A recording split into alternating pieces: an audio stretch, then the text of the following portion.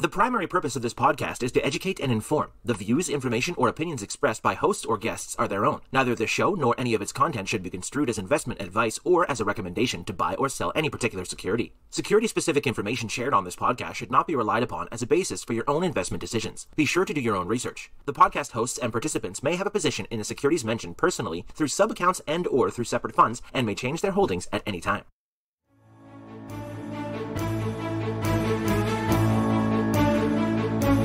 Welcome to This Week in Intelligent Investing, where we examine timely and timeless investing topics to help you become a better investor. Enjoy authentic, unscripted discussion featuring Phil Ordway, Elliot Turner, and other thought leading investors. Brought to you by MOI Global.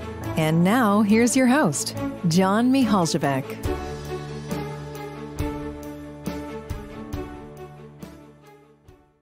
Thank you for joining us today. Uh, we're back with another very special interview I'm really excited about. We're here with Max Frumes, who's the author of The Caesars Palace Coup How a Billionaire Brawl Over the Famous Casino Exposed the Power and Greed of Wall Street.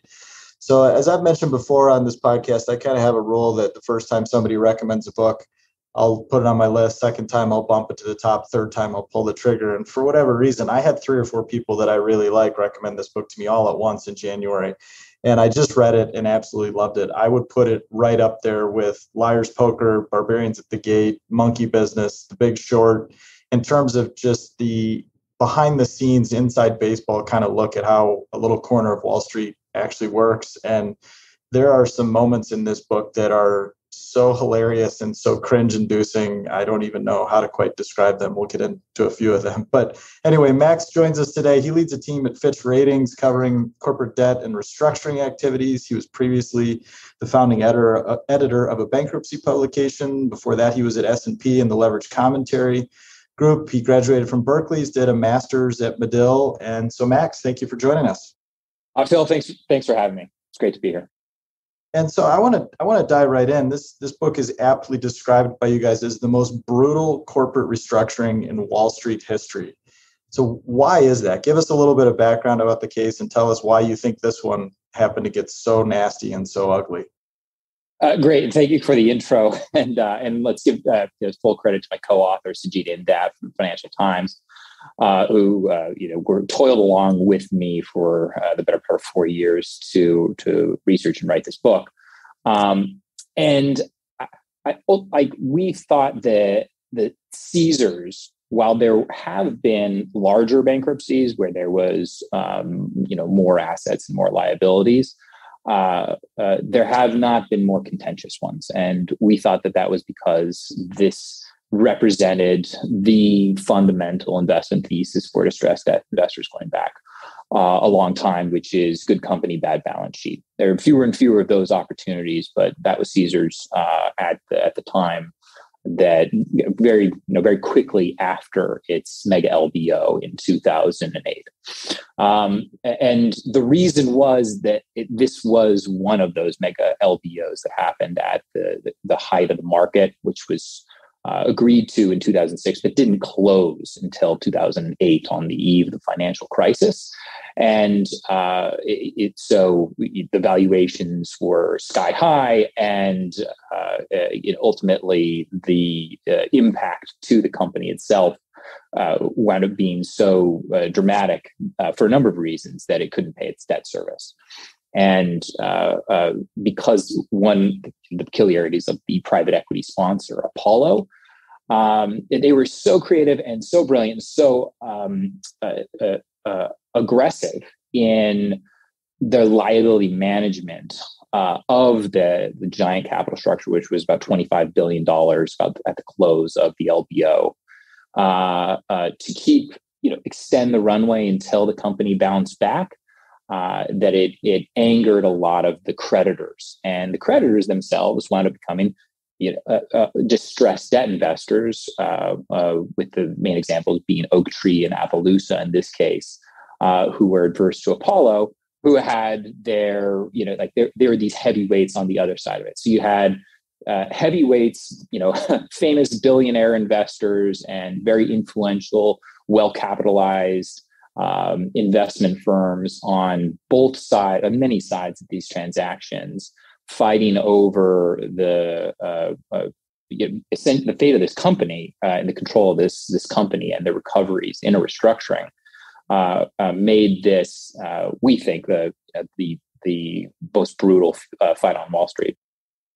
One thing that, that jumped out to me too was that you mentioned so this we'll get into a little of the weeds and the terms and the technic technicalities here. So John, Ellie, you guys jump in if we're, we're throwing around terms that aren't clear to people. But one thing that jumped out to me was as I was preparing for this, reading the end notes is eh, so Apollo came along. They they probably overpaid for this. They kind of admit they overpaid for this right on the precipice of the financial crisis, and then the whole thing kind of blows up 09 2010 it's pretty clear they're going to hit a wall but they're able to keep the company on life support by basically shuffling the deck chairs on the titanic and what other creditors ultimately deemed was asset stripping right? Like taking away the collateral that they thought they were entitled to and they got the blessing of various parties. And, and one thing that jumped out was that paul weiss the, the law firm uh, decided to basically go scorched earth on you guys, threatening to sue you and Sujeet for defamation before a first draft of the book even existed. So, I mean, doesn't that kind of tell you all you need to know about how implicit they were in kind of pushing this into the gray area, if not, you know, past the gray area? Uh, yeah, well, uh, without without getting too much hot water, I think it, it that's very indicative. Part of that is is uh, uh, I think that the threats weren't as explicit as all of that. Uh, it was, but it was uh, uh, uh, asking to see a, a, you know a copy of the manuscript before we had even had one. you know, to look for things that could have led to defamation claims. And, and but yeah, I you know this this whole case it brought up um, you know, two things. One was um, you, you know what is proper corporate governance for a company that is heading towards insolvency right?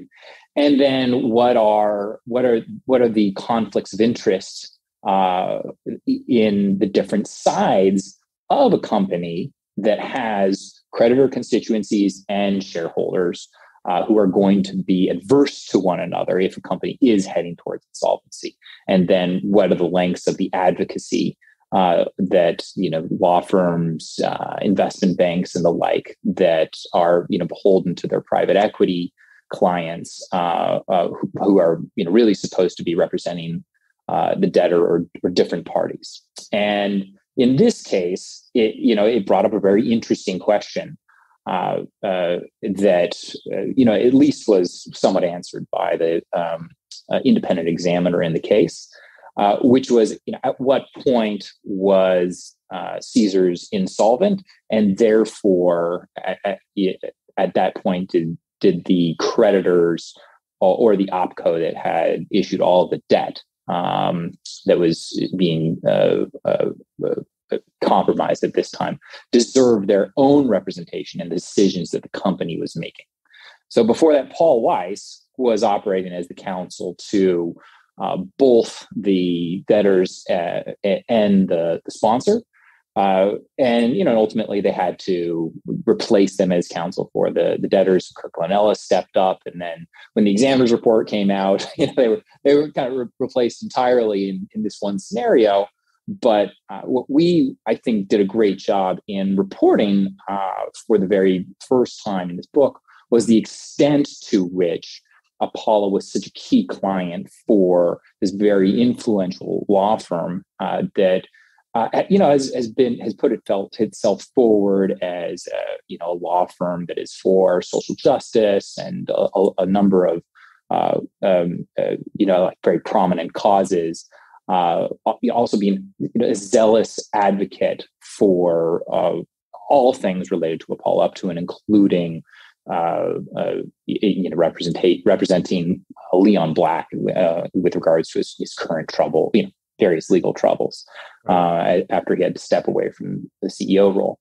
So, it, you know, that that was they were the top client for, for Paul Weiss and up to I think we we got confirmed about seven percent of the revenue, but we we heard anecdotally it was more than that.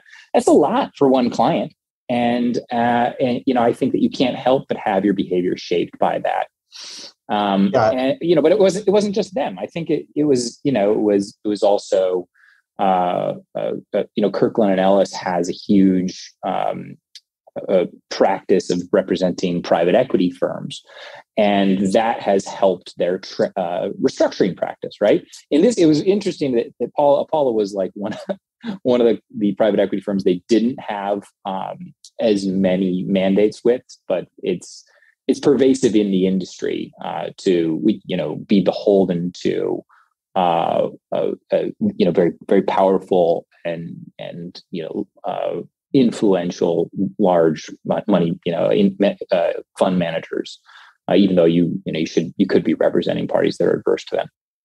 Yeah right. So on that note i mean look i've by the way, I think the incentives do tell all the stories here, right? Because show me the incentives, I'll show you the behavior, as the saying goes, right? And I think it's just plain as day to anyone who reads the book how conflicted and, and obviously conflicted various parties were, everyone from the advisors and the lawyers to the kind of stooge directors that were, were put in place at the company. So, and, and we talked a little bit about this before we started recording. It's a very small world, right? Like everybody knows everybody. Often very close personal relationships, professional fates, all very tied closely together.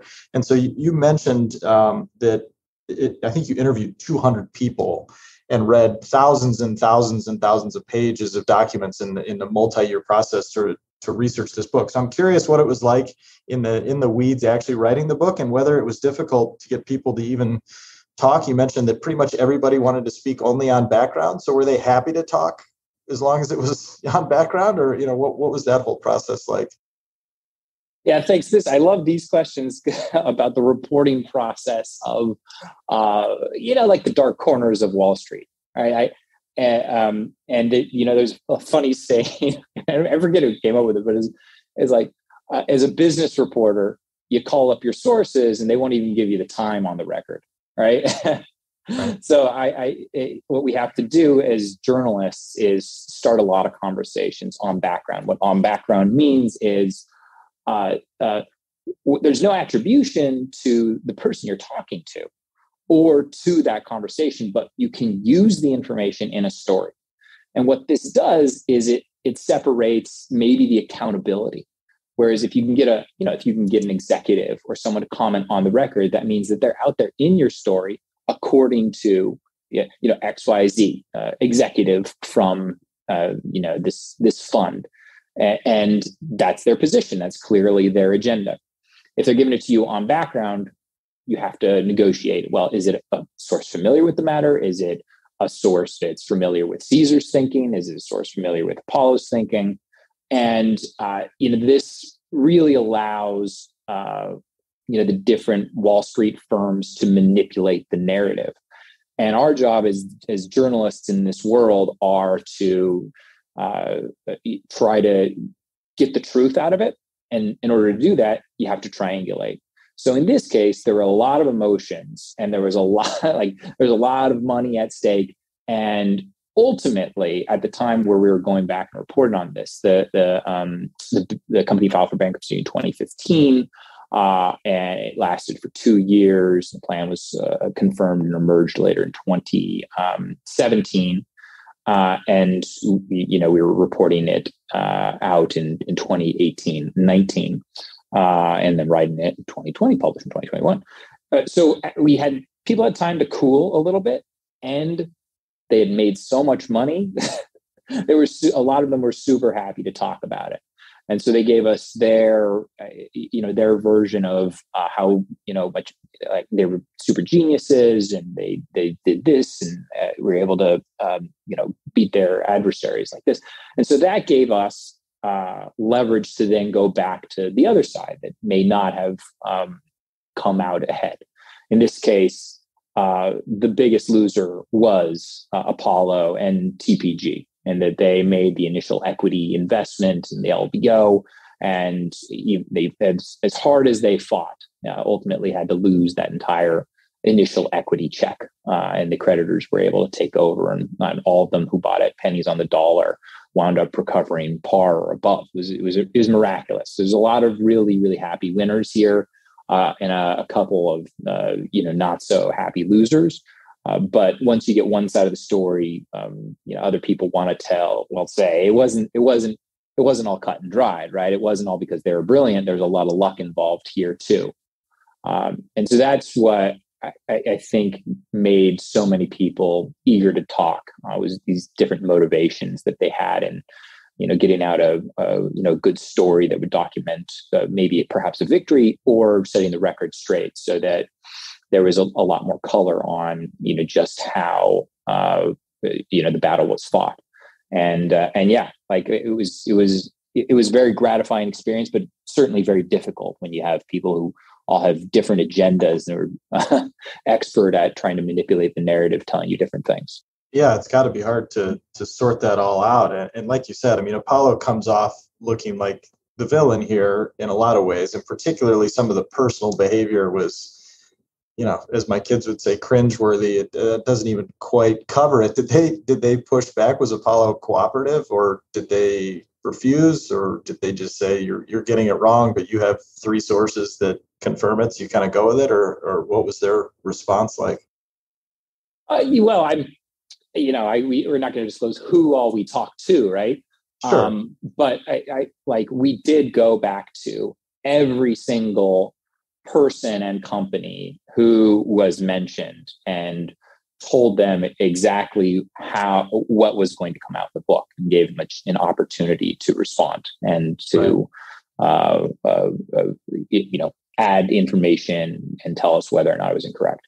And that you know that process uh, while laborious was helpful. And you know there's been no major errors that we we've heard on any side so they it, you know people may not be happy with their characterization but so far right. uh, no one is uh, is really disputing uh, any, any major major facts in this book and you know and i think that like our philosophy going in was you know not that there are good guys or bad guys. It's not it's not a Manichean story of good versus evil, right? Like at, at the at the end of the day, a lot like most of these firms don't look that great, right? Most of the motivation here is to make a lot of money.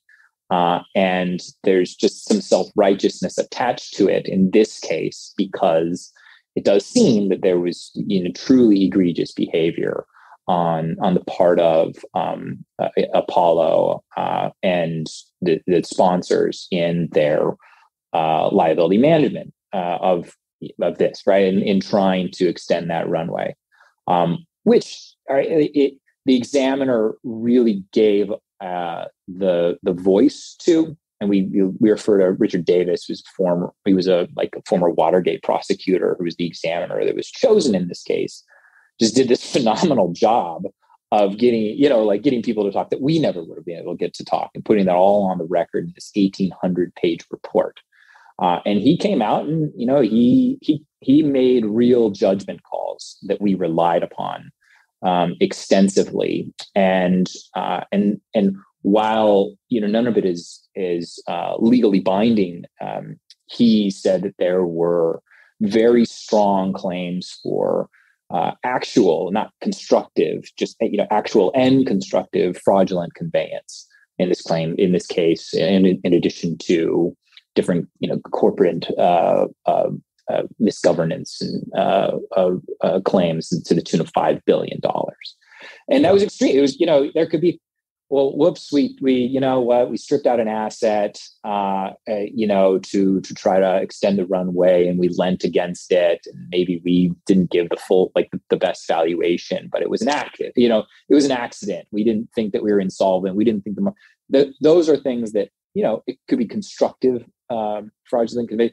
This was this was actual, uh, and so it you know that that was part of the uh, you know the I think uh, really unique por- uh, portions of this where you have this uh, a very um, uh, you know well respected objective third party who came in here and got you know very good access to all the key players and had a, you know a huge staff and its own his own investment bank and firm to you know go through millions of documents right more way more than than we had access to and then come down with this report Uh, right. uh, so I, and it's a, for anyone who's really interested, that examiner's report, it's public, it's out there, and very much at least worth a, a read of the executive summary.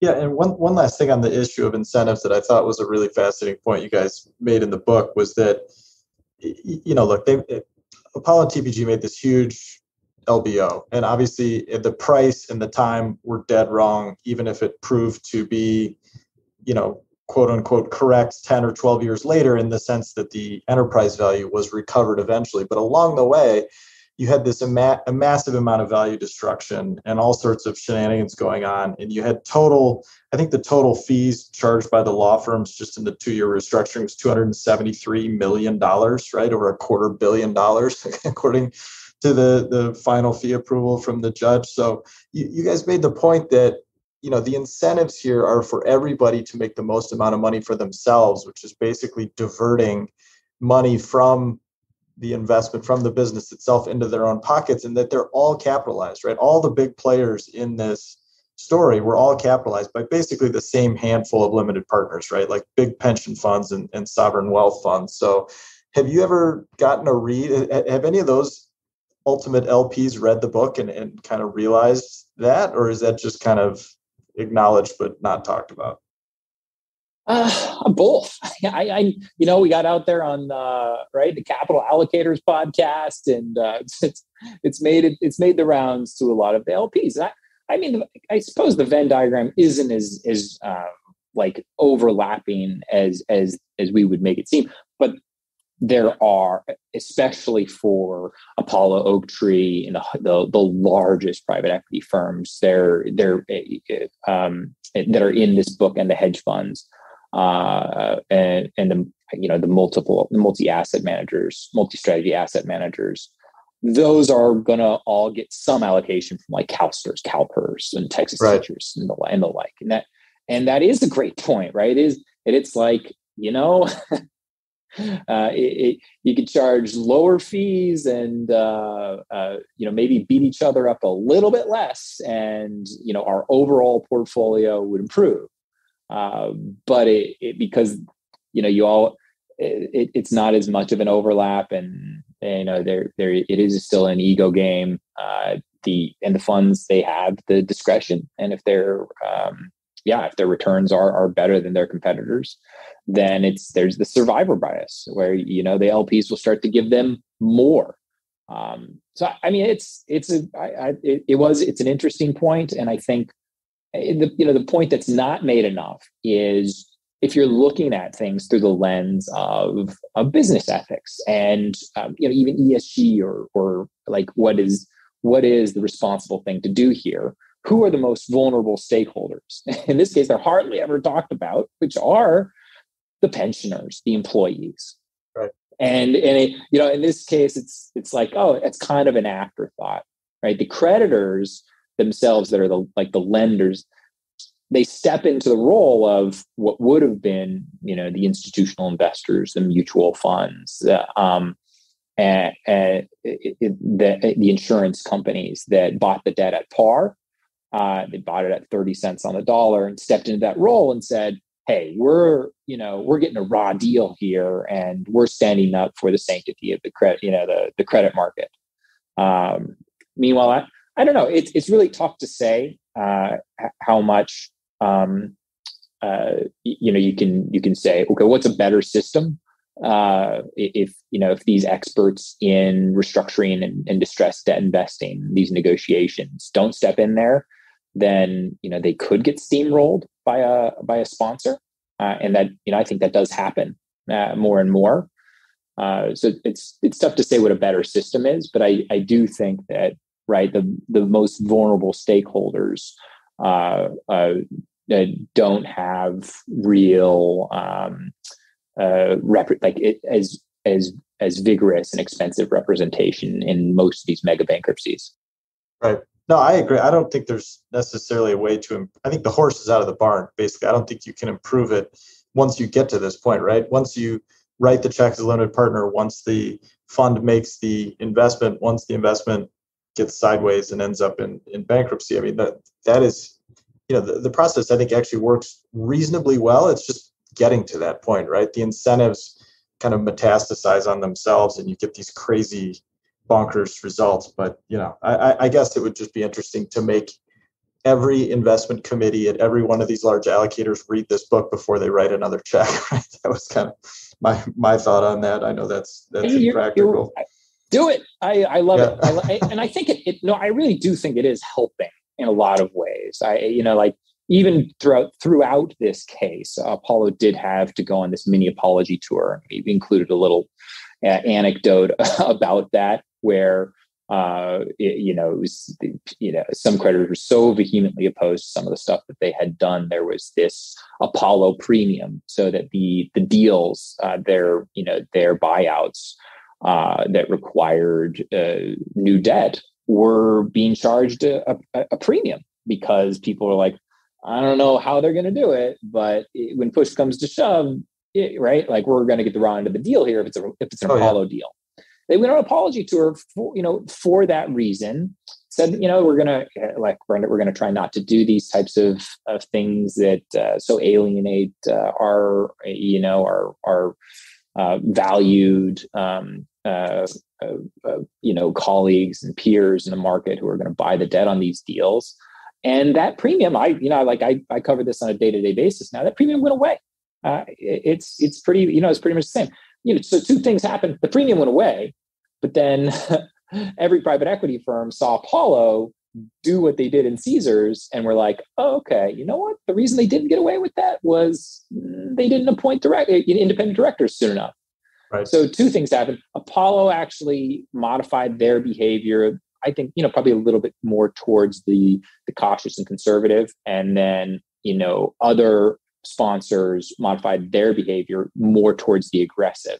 So now you see the, this this type of uh, uh you know like uh, aggressive um, let's say credit exchanges, asset stripping, um, uh, you know refinancing efforts by many sponsors, including Oaktree, right, which was the you know one of the unsecured creditors in this or the junior creditors in this case, part of the second lien group. But you know they're out there uh, doing very similar deals that are uh, um, kind of priming junior creditors and leaving them with lower recovery estimates. Uh, so that, yeah, the, those are kind of the results of it. I I think it's good to have exposure, as much transparency as many of these stories can get told. Uh, that that'll that'll improve things slightly. Uh, but you know, there's always a little push and a pull. Sure. Yeah. No, I, I agree. I don't getting Apollo was already a term and a risk that people were familiar with long before you long before this bankruptcy came to a, a head. That's for sure. But like you pointed out, yeah. they certainly haven't had any trouble raising money even since, uh, despite the myriad problems uh, at the firm. So I, it's fascinating. I want to ask three quick questions about kind of the legal side. One of the more interesting and shocking uh, legal ang- angles here was that the judge in the case opened the door uh, to at least the potential for personal liability on the on the senior executives at at Apollo. Do you think that threat really had the potential for any teeth? I mean, at one point, Oaktree joked about you know getting discovery and putting the the personal bank account details of the senior guys at Apollo on a billboard in Times Square. But I mean, that, that's as fascinating that's as that threat joke. might. Yeah, as fascinating as that joke and threat might be, I, it just didn't seem like they took it seriously. I mean, do you think that'll ever come up again? Do you think that'll be any sort of issue or even, God forbid, a deterrent at anything at any point in the future? Well, I do think it was a, you know, I, I, actually think that was one of the key inflection points in this case. They would never admit it. Uh, and, you know, we, we do, you know, we do couch it in terms of there were many, many reasons uh, why Apollo was was heading towards the you know the the same result anyways, where they were willing to walk away from their initial entire initial equity investment.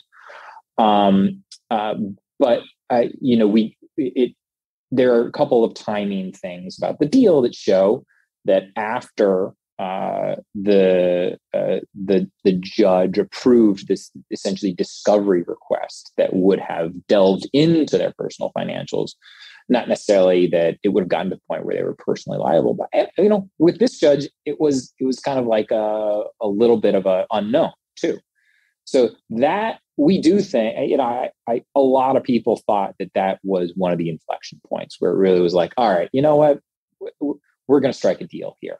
And yeah. it, like, there's there's always a lot of factors that go into that, but ultimately, this it, it, the timing of it did seem like it was it was a, a pretty important factor in um, uh, you know persuading them to to settle and then stick with the settlement because one of the key, like on the day of confirmation one of the key uh, legal precedents that was working against them was was kind of reversed when you know with respect to the Marblegate and education management case.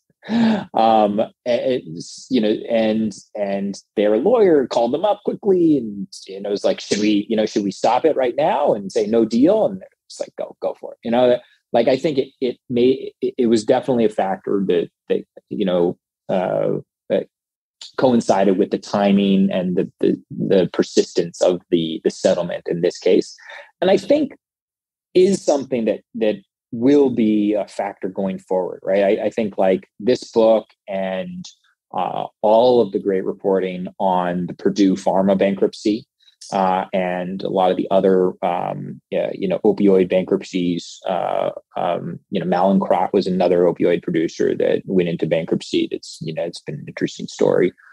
Uh, uh, th- you know, they are bringing up these questions of of personal liability uh, that I think benefit from this type of of scrutiny and exposure, and you know ultimately should be held up as an example for why you know it's better business just to be a little bit more personally responsible um, or ethical, right? So, so I, yeah, I, I think it, it was a factor in this case.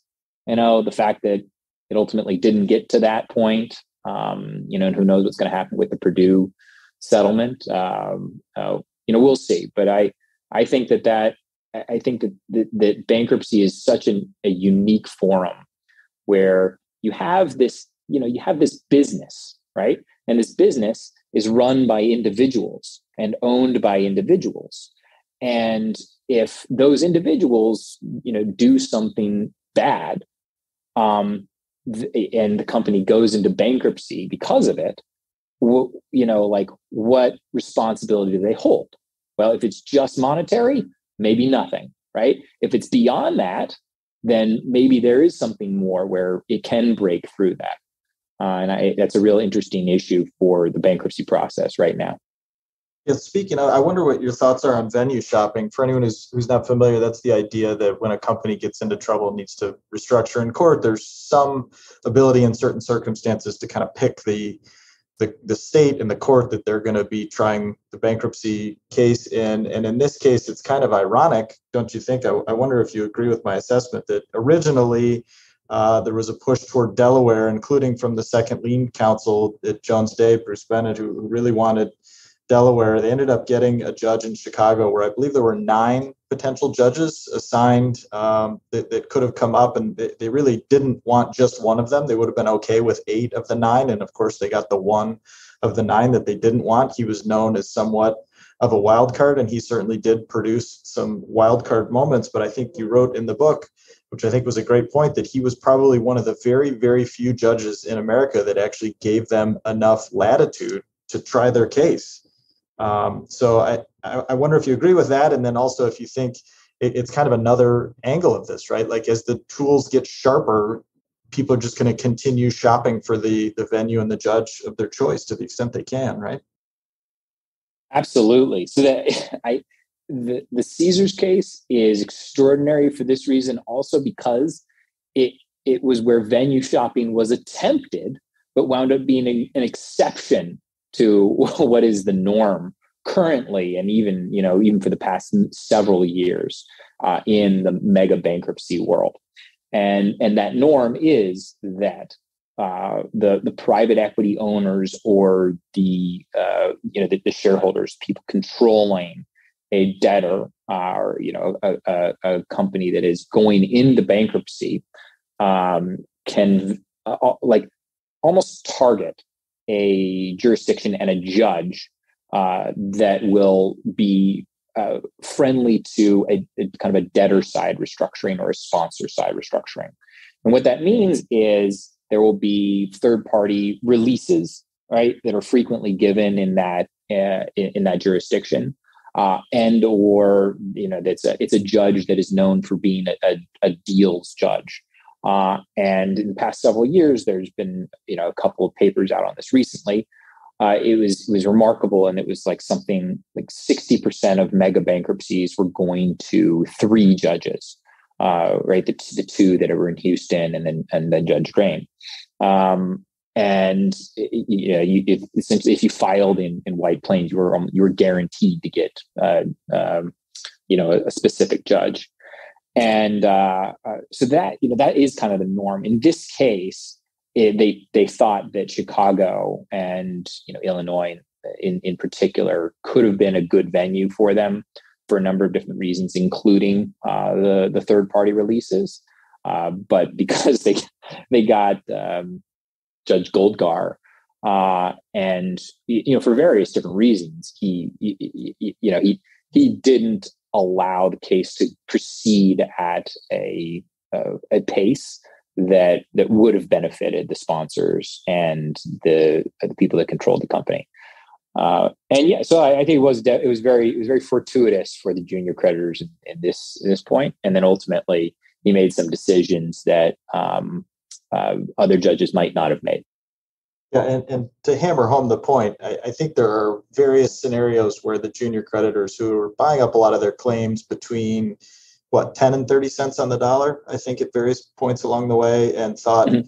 boy a total home run here would be 50 cents and they ended up getting par plus through through some equity recoveries i mean th- this was a, a swing of like 3 billion dollars right that could have been limited quote unquote to just a billion or two had the, the, the judge not given them this latitude so it, it really was meaningful and the last thing i want to bring up on the on the courtroom and the judge side of things was just there were like four or five moments in this book where I was reading most of it on an airplane, and my wife had thought I'd lost my mind because I was laughing out loud at this nerdy finance book. But one of them that I think everybody listening to this podcast will appreciate is there's a moment in the courtroom where uh, one of the advisors is is presenting his analysis, and he comes up with a six billion dollar theoretical equity value for the new Caesars, which he calls quote an intrinsic value a term that I'm sure all of us are familiar with, but uh, the co-head of restructuring at Houlihan and the judge himself start attacking this term. And they said, so intrinsic value is not a technical term in corporate finance circles.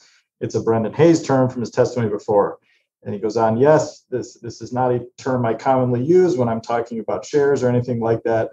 And so the, the lawyers pick up on this and let me ask you a question that you don't use the term intrinsic value. Is that a common and acceptedly and, and generally accepted corporate finance term? And the head of restructuring at Houlihan says, I don't believe it is. No. The lawyer goes on, okay, now there are treatises that are written about corporate finance and corporate valuations, authoritative treatises that you would recognize as such. Yes, there are. Have you heard of Graham and Dodd, their treatise or a book on security analysis? You go on to say that, you know, obviously Graham and Dodd are kind of the godfathers of of fundamental analysis and their classic textbook and you quoted you're quoted in the book as saying or you wrote in the book that they were as famous as finance thinkers could be but apparently not famous enough for the co-head of restructuring at houlihan and Lokey. at which point he admitted i have actually not heard of them and the lawyer responds you have not heard of that and the judge continues to admit that he's not heard of that and as soon as the hearing ends kirkland ellis ships a copy of security analysis to Hilty's office in new york so I, I found that whole thing both kind of frightening and and pretty hilarious. So I, I don't know how that story came up, but I just I, I sent that around to several people I knew as soon as I read it. It was great. It was great. Yeah, I, you had to have heard of it, right? like, that's what I mean. You know, so like if you got to, I think it's if you got a judge, right? Like you know, like part of this is reading the judge, and uh, you know, yeah. you, got, you got a judge who's kind of like for for a lot of different reasons, he had a lot of skepticism about the right the debtors advisors and uh, uh, you know their their uh, framing of things at this point so this was just you know Hilty just gave him just enough of an excuse to kind of dismiss uh, uh, the you know their their explanation of intrinsic value, which is which was pretty funny. Yeah, I, I it was it was amazing. And again, e- even if this was a tactic they they tried to play willful ignorance, I don't I don't think it was successful at it. it was, anyway, so I, I've been going on up. John Elliott, do you guys want to jump in with anything before we wrap up? Well, that last story was fascinating to me. I think the whole thing was really interesting. Um, you know, I I like reflect back on uh, how much things have changed in five minutes. Uh, I, I guess in the in the backdrop of the economy from when this whole ordeal started to where it's at now. See Caesars out there as like a publicly traded security stock again, and you know, I just wonder, um, geez, I what you think of um, the future of these kinds of big buyouts? Do you think there is a little bit of a pause that people take in different valuation environments? Like, what do you, what do you think are some of the big uh, ramifications down the line here? Yeah, I, I mean, that's that's great. Will we ever see another heyday of the uh, you know private equity club deal to uh, you know to to produce a mega buyout at the top of the market? Um, and uh, they're frothy enough, probably, but I I think that the uh, what we're more likely to see is what happened in 2020, where, where there's these abbreviated moments of opportunity where these the largest investi- in, uh, um, uh, investors who have sophisticated distressed investing uh, strategies raise a ton of money, buy up a lot of assets, uh, you know, on the cheap, uh, and, and, you know and aim and, and, then you know aim to have dry powder or the ability to raise capital quickly to take advantage of those environments. Uh, and then you know i don't know like maybe the fiscal stimulus will come in and and ruin those opportunities quickly like they or, or you know at least bring the market back up to the point where they're not as discounted as they were. But we saw that. Apollo came back in, is in, you know, is is going to be on the Las Vegas Strip again with the acquisition of the Venetian, and uh, and you know one of the uh, uh, you know main uh, players in the Caesars um, uh, saga, David Sam- Sambur from from Apollo, you know, subsequently appointed to be the co-head of private equity at um, at Apollo uh, he got up in front of the, the Nevada uh, Gaming Commission and uh you know he gave public commentary on the differences between the two deals. Venetian was at the bottom of the market.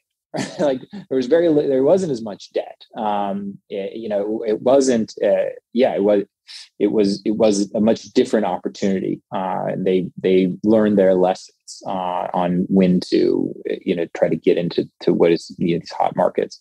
So I think you know that that's at least one of the the lessons about you know I don't know mega buyouts um, by uh, these investors that have experience in this. Uh, you know other other things where distressed investing is going are they're kind of interesting in that in the last year or so where debt capital has been very cheap. Uh, there was so much uh, stimulus that came into the markets that bailed out companies that might have otherwise needed to go through a restructuring. That nothing has been that cheap. Um, they've gone toward they've they've now started calling themselves opportunistic credit investors, right, or special situations investors. Like nothing is really distressed, and and they have to get creative in the ways that they deploy capital and get involved. And that that takes the form of uh, you know writing huge checks in situations that are uh, uh, uh, you know like somewhat fraught in the case like in recent cases um, like Talen Energy uh, or looking at distressed SPAC financing for instance uh, up to and including a, a, you know new kind of blockchain initiatives or what have you. So those are those are some of the you know innovative ways that these investors uh, I, I, think kind of have adapted to the current markets. Um, right now, it's you know I, I, I on your guys' last podcast you, or one of your previous podcasts, you talked about the uncertainty that there is in in the current environment um, with, with, you know conflicts in East, Eastern Europe and uh, you know like a, a whole uh, uh, you know you know major economy in Russia being uninvestable. Uh, there being ripples throughout the market where people are just acting with emotion So, and right now, distressed investors are at the end of the day, they're value investors and are a little bit paralyzed in this type of market. But I, I, they're getting smart on a lot of these situations and will look to um, understand them when the you know emotions kind of start to settle down a little bit. And and we'll see what type of environment we're in then because interest rates are rising uh, you know that it's going to lead to more defaults. Uh, the appetite for the degree of, of fiscal stimulus is going to be lower so you know we, we could be looking at um, a, a very active market for the, the, the types of investors that are characterized in this book can i jump in with uh, or elliot did you have a follow-up uh, just one quick observation. I mean, it is interesting how these things repeat themselves. Like Barbarians of, at the Gate was like not that long ago in the grand scheme, but you know, a little before this. And then, you know, I guess one of the other things that was really interesting to me that that you referenced there too. But like, you know, KKR bought uh, Alliance Boots at a similar time, and both that and Caesars ended up like kind of money good. Is there something to be said about the quality of the assets, or is there something just crazy with the amount of leverage? that people put on these? Uh, you know, I wonder about those things. Yeah, I think I, you know, like the the uh, on the downside too, right? The you know, uh, uh, your liquidity is not going to last as long as the irrationality of of you know whatever situation's going on. But but I think you know the the these big investments, um, you know, like they they're they're premised upon you know pretty good established companies that are you know are likely going to grow in value it's just is there going to be a hiccup where you've levered it too much and they can't make their interest payments and you're going to hand control to the creditors and that's you know it's a real balance right now uh, and uh, I, you know i don't think that they they're always going to get it right so i have kind of a beginner question uh, i guess uh, when it comes to this kind of stuff um, apollo was one of the big equity holders that i guess lost all their money. What was the other one? TPG. TPG. Yeah. So um, I guess the question is, you know, if these guys really believed that um, there was so much value in in Caesars, I mean, they got huge funds. Couldn't they? They have just paid off the debt, kept control of the equity, and then tried to le- relever. I, it's a great point, and we we tried to provide a, a you know a comparable situation in Blackstone, right? Like uh, it, it, in their investment in, in Hilton, uh, where you know it's roughly you know similar uh, sector, and they put more money in and wound up being one of the you know the best invest best returns that they ever got. Um, the there's some key differences with Caesars in that uh, you know, about a third of, of uh, Caesar's EBITDA came from Atlantic City, and then Atlantic City, post Great Financial Crisis, was just decimated because all of the northeastern states started issuing gaming licenses, and that you know, uh, um, building casinos, so the revenue never actually came back. So that was just one one struck huge structural change that never would have changed things. And the leverage was maybe a little bit too much. So if you're talking about their initial equity check um, uh, he, was was six billion dollars between the two private equity firms, uh, with a, a, lot of that being provided also by other co-investors. So they're you know at, at really at most are only putting in two billion dollars each, and the, the debt that was distressed was eighteen billion dollars. Um, it wasn't it, it, it wasn't a great return that they would they were look there was other opportunities that they could put capital work for better return otherwise they probably would have done it you know, and they're known for doing that, for buying back their own debt at a discount and betting from benefiting from it. Uh, but in this case, it was just a little bit too much. I know we're we're bumping up against our, our time limit here, so I just want to close with with one quick thought, which is people who've listened to this podcast before know that I'm a huge fan of Matt Levine's writing at Bloomberg. I think he's absolutely brilliant and hilarious, and the way he explains things he really knows what he's talking about. And when he dives into something, not only is it hilarious, but it's thought provoking because it kind of makes you think about why things are the way they are. And no less authority than Matt Levine is on the back jacket of your book with a blurb that says this is a superb inside account of what modern high finance is actually like the strategies, the personalities, the relationships, the stress, and the shouting. Fascinating, suspenseful, and comprehensive. It's the barbarians at the gate of distressed debt. And I, couldn't agree more. I plan to give this book and recommend this book to absolutely anyone who I, I, get the question, you know, from time to time, what's this stuff really like? How does this stuff really work? And and this book is just a fantastic example of that. So Max, thank you for joining us and congratulations again on the book. Really, really appreciate you guys having me. This is a great discussion. I appreciate it. Thanks again. Take care. Thank you for listening to This Week in Intelligent Investing, brought to you exclusively by MOI Global, the research driven membership organization. Learn more at moiglobal.com.